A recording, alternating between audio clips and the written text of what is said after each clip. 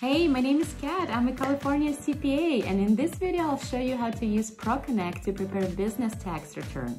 Let's start. Alright, now we're switching to business tax preparation in ProConnect. So I already explained you how to use ProConnect in general and its uh, view.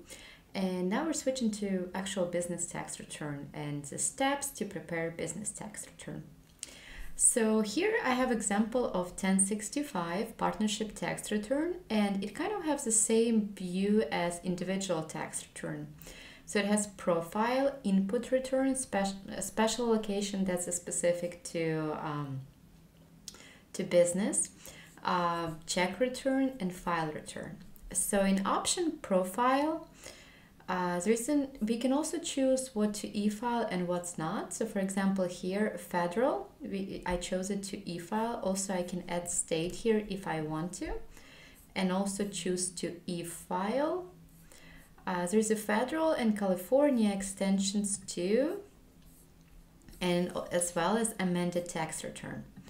So when we go to input tax return, we can see a similar section as individual, but I mean, they're a little bit different due to um, tax forms.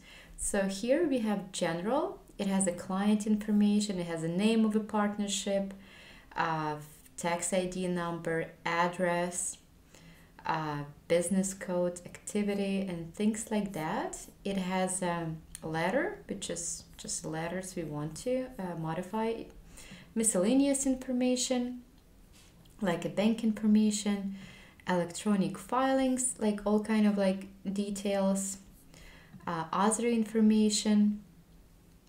And if you want to file extension, that's where we choose to print extension, uh, automatic extension and things like that.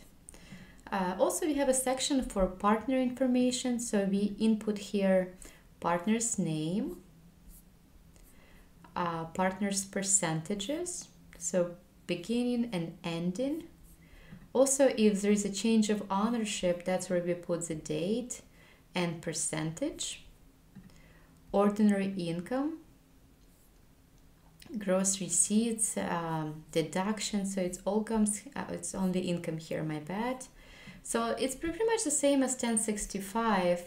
Uh, the tax software is uh, created so it kind of like goes from different steps. So like right here, we enter names and we enter um, incomes and there is a deduction section and other things as well.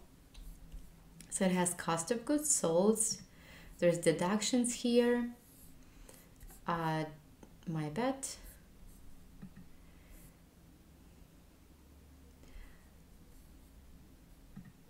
uh, depreciation. So here's depreciation where we enter depreciation details which we can connect to any form like 1065 or let's say it can go to K1 or 8825 so we can choose it here. Category, date, place and service. If we dispose an asset, there is a tab right here where we put a date of disposition and there's a sales price and it will calculate the gain for us. Uh, there's a schedule K entry if we like, let's say we need to enter like any other K1 items. Uh, so we can enter them here. Or if partnerships owns another partnerships or S Corp, that's where we enter K1. There is the option to enter balance sheet. Uh, M1s, obviously, schedule M1 so it has guarantee payments, deductible, non-deductible expenses, uh, things like that. Uh, let's see, what else might be useful.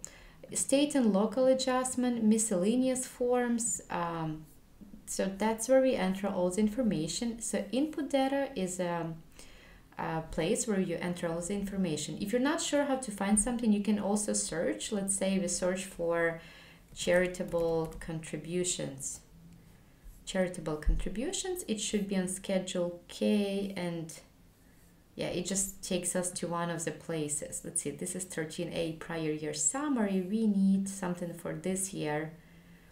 Uh, so for example M3 yeah like here for example. So it gives us different options where to enter information. Also, if you would like to for, uh, print some forms, we can always force it. So for example, if you want to print schedule M3, we can press 1 here and it says if you press 1, it will put like force on the tax return.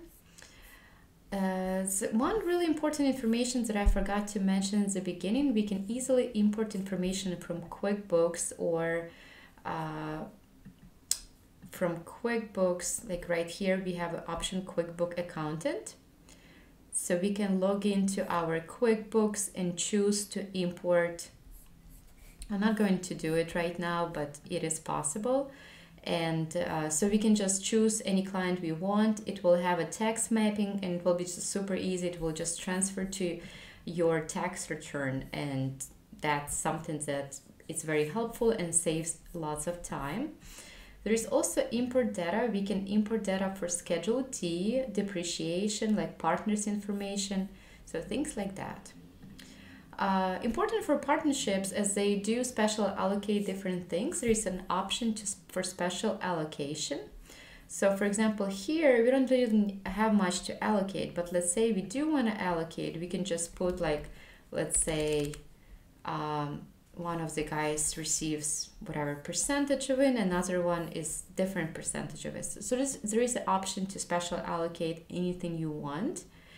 And when you're ready to print tax return, re to review it for yourself or send it for a client or e-file, you go to check return.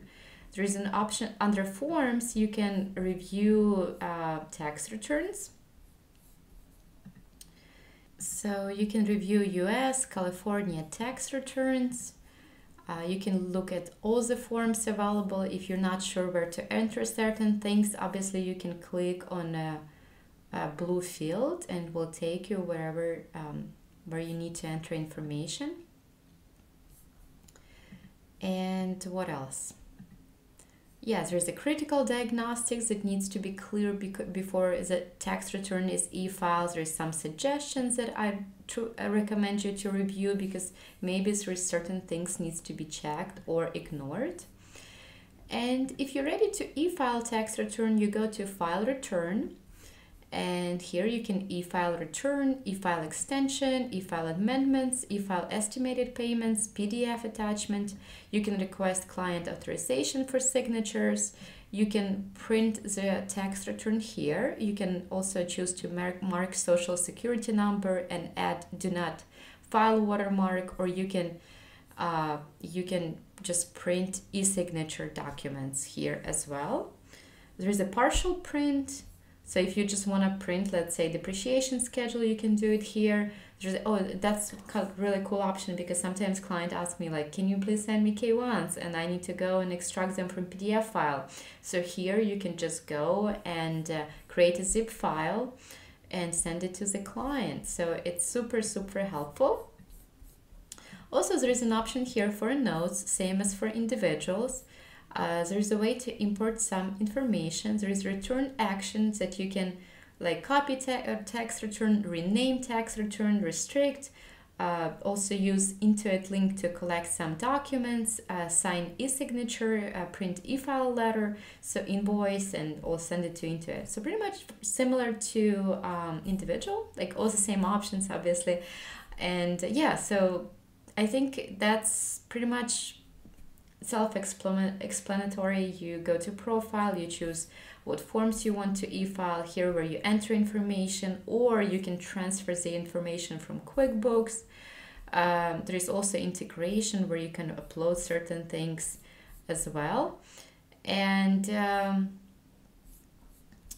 any special allocations you might need, you can enter it here. So let's say one partner receive 100, another one received. You can also add percentage if you want to like what is that uh, 693 uh, so difference it, it shows a zip difference here so it will allocate things for you. Check return e-file tax return so it's super easy. Like I, I found ProConnect is easy to use it's very um, it's very like self-explanatory and it's really easy to find input. Like you can always search here for anything you want or you can go to tax return if you know where it goes and you can just click on any um, let's see, any blue um, blue field and it will take you where it goes. So I hope this training was helpful for you and good luck this tax season. Thank you so much and have a great day. So if you're still watching this video, you probably really need to learn how ProConnect works. so I hope it was helpful for you and good luck this tax season. If you have any questions, please comment below and I'll make sure to reply to your answers. And please subscribe it helps me a lot. Uh, i need to make more videos on youtube and if you subscribe i'll make more videos. If you don't i probably won't. So thank you so much. Have a great day. Take care and um, see you soon. Bye